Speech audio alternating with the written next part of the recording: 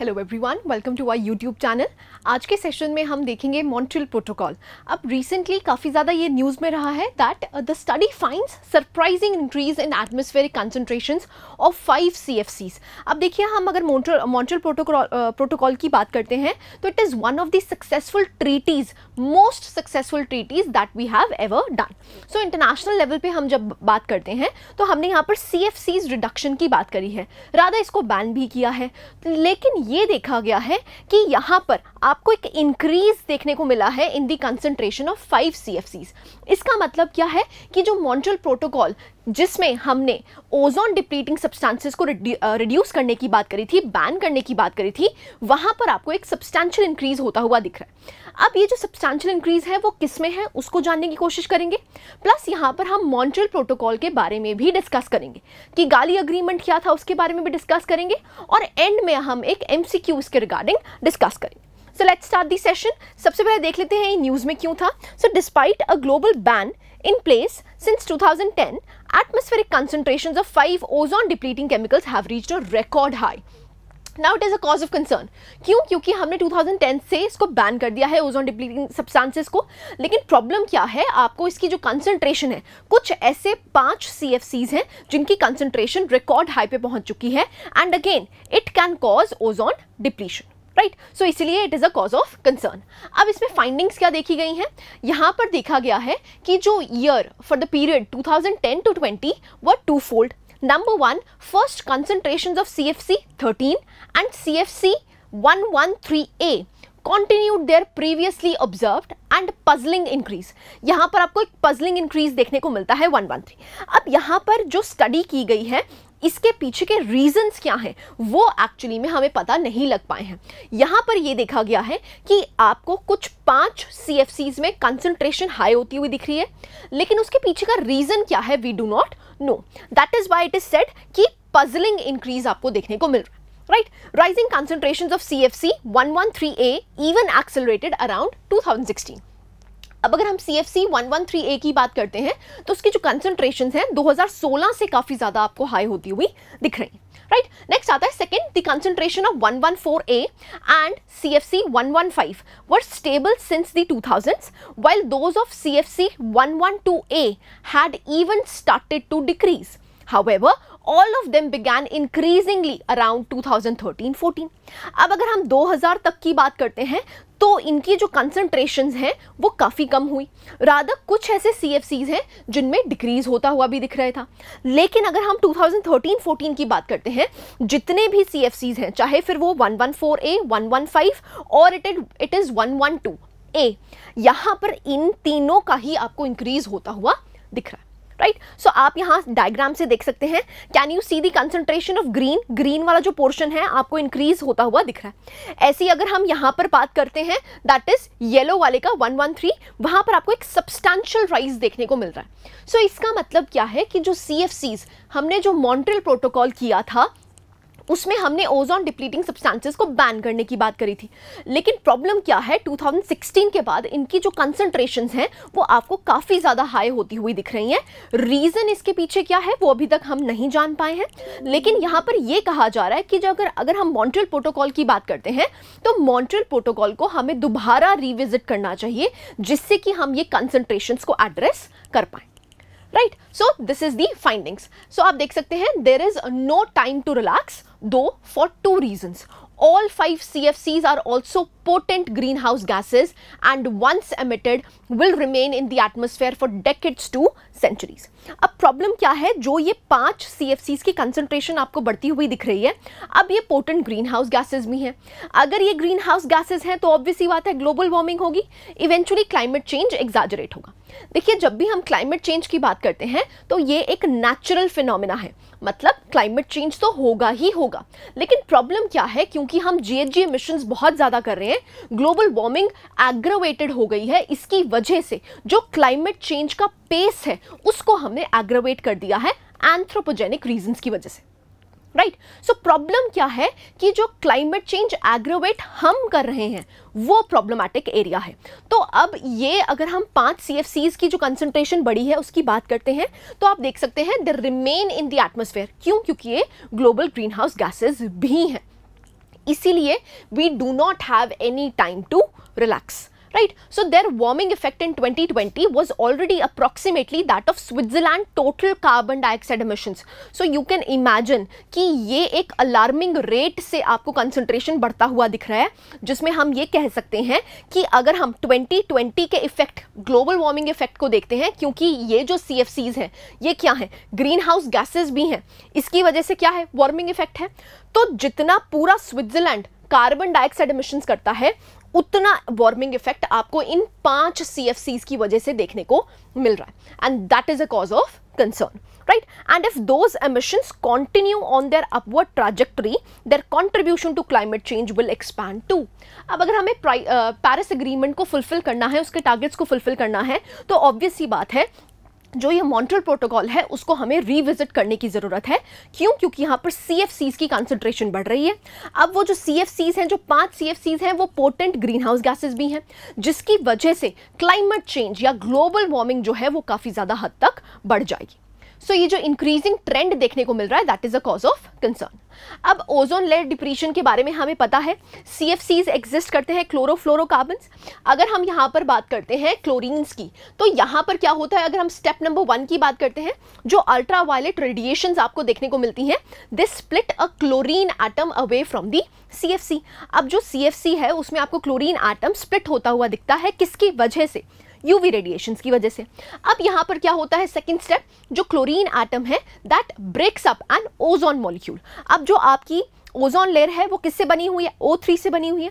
अब ये जो क्लोरीन है, इसकी हायर एफिनिटी होती है टुवर्ड्स ऑक्सीजन तो ये ओ थ्री को क्या करता है? उसमें से एक ऑक्सीजन चुरा लेता है। वो जो एक ऑक्सीजन चुराता है, उस पर्टिकुलर ऑक्सीजन को क्या कहते हैं? Nascent oxygen right so nascent oxygen के साथ ये कंबाइन कर लेता है and making a hole in the ozone layer जिसकी वजह से जो यूवी रेडिएशन है, जो हमारा ओजोन एक प्रोटेक्टिव लेयर की तरह काम कर रहा था, अब वहाँ पर आपको होल्स देखने को मिलते हैं, जिसकी वजह से जो यूवी रेडिएशन हैं, चाहे फिर वो यूवी ए हो यूवी बी हो, वो दोनों ही आपको एंटर करते हुए दिखते हैं अर्थ के एटमोसफेयर एटमोसफेयर में, जिसकी वजह से आपको स्किन कंडीशन स्किन कैंसर तक भी हो सकता है right so the molecules left behind are chlorine monoxide and oxygen so पीछे जो रह जाता है दैट इज़ क्लोरीन मोनोक्साइड और क्या रह जाता है? ऑक्सीजन अब O3 की कंसंट्रेशन कम हो जाती है, जिसकी वजह से आपको होल्स देखने को मिलते हैं। राइट सो एग्जैक्टली होल्स नहीं होते बट वहाँ से क्या हो जाता है? थिनिंग ऑफ़ ओजोन लेयर वो थिनिंग की वजह से ही हम कहते हैं, आपको एक होल्स देखने को मिलते हैं। तो वो थिनिंग की, जो प्रॉपर्टी है, उसी को हम कहते हैं ओजोन होल्स राइट सो अगर ओजोन डिप्लीटिंग सब्सटेंसेस की बात करते हैं तो आपको सी देखने को मिलते हैं एच देखने को मिलते हैं हैलेंस देखने को मिलते हैं मिथाइल ब्रोमाइड अगेन ये आपके पेपर के लिए काफ़ी इंपॉर्टेंट हो जाते हैं, क्योंकि आपसे एक्सप्रेसिट क्वेश्चन पूछ सकते हैं कि बताइए ओजोन डिप्लीटिंग सब्सटेंसेस कौन कौन से एग्जिस्ट करते हैं? तो सी एफ़ सीज हैं एच हैं हैलेंस हैं and methyl bromides right I hope यहाँ तक क्लैरिटी है. नेक्स्ट अब हम देखते हैं मॉन्ट्रियल प्रोटोकॉल क्या था और कि गाली अग्रीमेंट क्या है उसके बारे में जानने की कोशिश करते हैं. सो so, अगर हम मॉन्ट्रियल प्रोटोकॉल uh, की बात करते हैं इसका एम क्या है?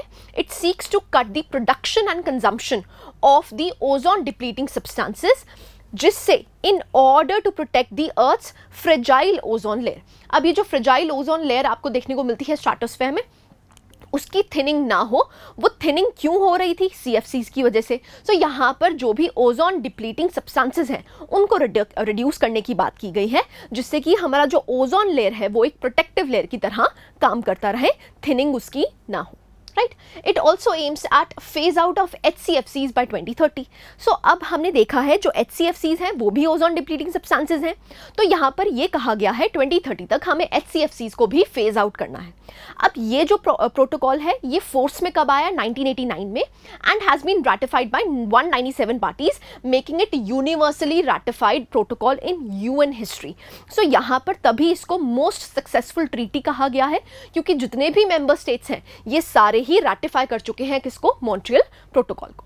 Right it also highly successful international arrangement as it has phased out more than ninety five percent of the O D S that is ozone depleting substances so इसको सबसे ज़्यादा सक्सेसफुल क्यों बोला जाता है? क्योंकि ninety five percent of C F Cs have been phased out O D S जो है ओजोन डिप्लीटिंग सब्सटेंसेज जो हैं उनको हमने फ़ेज़ आउट कर दिया है as per its main mandate in less than thirty years of its existence so तीस साल के अंदर अंदर हमने यहाँ पर जो आपके ओजोन डिप्लीटिंग सब्सटांसेज हैं, उनको 95 परसेंट रिड्यूस कर दिया है फ़ेज़ आउट कर दिया है। Right so this is Montreal protocol अब किगाली अमेंडमेंट के बारे में देख लेते हैं। अब ये अमेंड करता है मॉन्ट्रियल प्रोटोकॉल को। ये क्या एम करता है? It aims to phase out hydrofluorocarbon H F Cs जो कि एक्चुअली में क्या है? पोटेंट ग्रीन हाउस गैस है देखिए, यहाँ पर क्या है? हम अगर मॉन्ट्रियल प्रोटोकॉल की बात करते हैं तो वो किसके लिए है? स्पेसिफिकली ओजोन डिप्लीटिंग सब्सटेंसेस के लिए। लेकिन यहाँ पर हमने एच को भी इंक्लूड किया है। क्योंकि ये क्या है? ओजोन डिप्लीटिंग सब्सटेंसेस तो हैं ही हैं। साथ में क्या है? They are a family of potent greenhouse gases so यहाँ पर टारगेट्स दिए गए हैं। हम वो टारगेट्स भी जानने की कोशिश करेंगे। ये कहा गया है that you have to phase out H F Cs by twenty forty right under the kigali agreement in all the 197 countries including india have agreed to a timeline to reduce the use of hfcs by roughly 85% of their baselines by 2045 so यहाँ पर targets दिए गए हैं India ने भी यहाँ पर target लिया है कि 2045 तक हम यहाँ पर जो एच हैं वो 85 परसेंट फ़ेज़ आउट कर देंगे अब एच हैं क्या पोटेंट ग्रीन हाउस गैसेज हैं। लेकिन इनको ऐड किसमें किया गया है? मॉन्ट्रियल प्रोटोकॉल में किया गया है। अब मॉन्ट्रियल प्रोटोकॉल किसका है? ओडीएस का है that is ozone depleting substances so आप देख सकते हैं, अगर हम एच की बात करते हैं they are not ozone depleting substances but are still but they are still included in the Montreal protocol via Kigali agreement because they are potent global warming substances क्योंकि जब हमने सी को रिप्लेस किया, वो किससे कर लिया? HFC से कर लिया। हमें लगा ये ओजोन डिप्लीटिंग सब्सटेंसेस तो नहीं है। अब जब हमने ओजोन डिप्लीटिंग सब्सटेंसेस को दैट इज़ सी को रिड्यूस कर दिया तो हमने यूज़ क्या करना स्टार्ट कर दिया? एच अब जब हमने एच को यूज़ करना स्टार्ट कर दिया तो देखा कि ये क्या है? ये पोटेंट ग्रीन हाउस गैसेज हैं। इसका मतलब क्या है? इवेंचुअली ये क्लाइमेट चेंज तो करेंगे। तो यहाँ पर हमने किगाली अग्रीमेंट लेके आए, जिसमें ये कहा कि एच को भी अब हम क्या करेंगे? रिड्यूस करेंगे फ़ेज़ आउट करेंगे, जिससे कि ये जो ग्लोबल वार्मिंग गैस है इसको भी हम फ़ेज़ आउट कर सके। तभी यहाँ पर अमेंडमेंट की गई थी इन दी मॉन्ट्रियल प्रोटोकॉल अब आपको याद रखना है, अगर हम एच की बात करते हैं, ये ओजोन डिप्लीटिंग सब्सटेंसेस नहीं है, ये क्या है? ये ग्लोबल वार्मिंग गैसेस हैं। लेकिन फिर भी हमने इसको मॉन्ट्रियल प्रोटोकॉल के तहत रखा है। राइट आई होप यहाँ तक क्लैरिटी है। अब सिग्निफिकेंस क्या रही है? तो देख लेते हैं this move will help to prevent a potential 0.5 degree Celsius rise in the global temperature by the end of the century next Kigali agreement जो है और amended Montreal protocol for H F Cs reduction will be binding on the countries from 2019 अब किस किस पे binding रहेगा और timeline क्या है उसको भी जानने की हम कोशिश करेंगे। It also has provision for penalties for non compliance अगर आप इसको कंप्लाई नहीं करते हैं तो यहाँ पर पेनल्टीज भी एग्जिस्ट करती है। Very important from your prelims perspective आपसे पूछ सकते हैं क्या यहाँ पर पेनल्टीज लगाई जा सकती हैं अगर आप उसको केटर नहीं कर रहे हैं? यस yes, यहाँ पर पेनल्टीज लगा सकते हैं।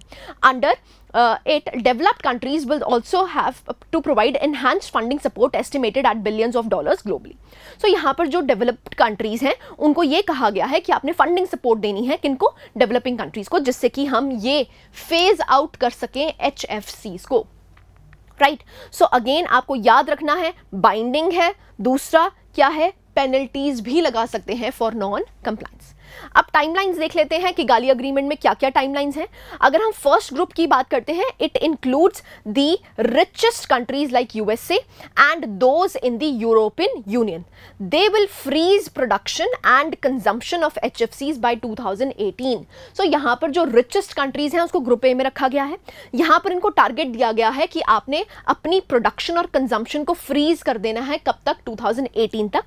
They will reduce them about 15 percent 2012 levels by 2036 अब जो अगर हम 2012 के लेवल्स को देखते हैं तो 2036 तक आपने उसका 15 प्रतिशत कम कर देना है। ये इनका टारगेट है।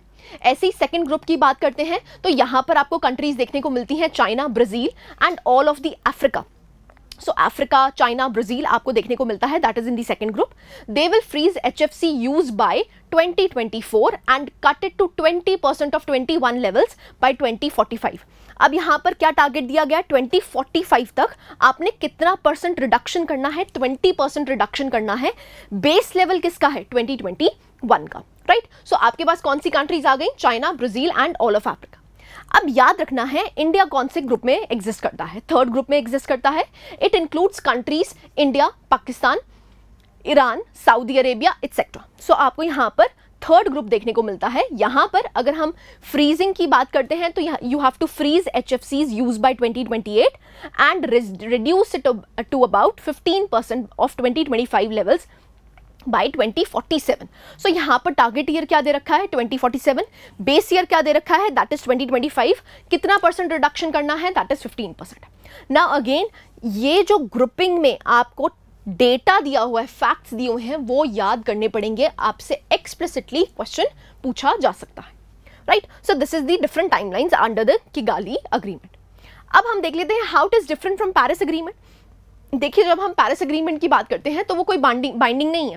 लेकिन अगर हम गाली प्रोटोकॉल की बात करते हैं तो it is binding right so आप देख सकते हैं, अगर हम पैरिस अग्रीमेंट की बात करते हैं तो Paris agreement which will come into force by twenty twenty is not legally binding on the countries to cut down their emissions but Kigali agreement की बात करते हैं it is considered absolutely vital for reaching the Paris agreement Paris agreement को reach करने के लिए ये जो मॉन्ट्रियल प्रोटोकॉल का अमेंडमेंट है that is Kigali amendment उसको हमें केटर करना ही पड़ेगा। क्योंकि यहाँ पर हम फेस डाउन किसकी बात कर रहे हैं? एचएफसी की बात कर रहे हैं।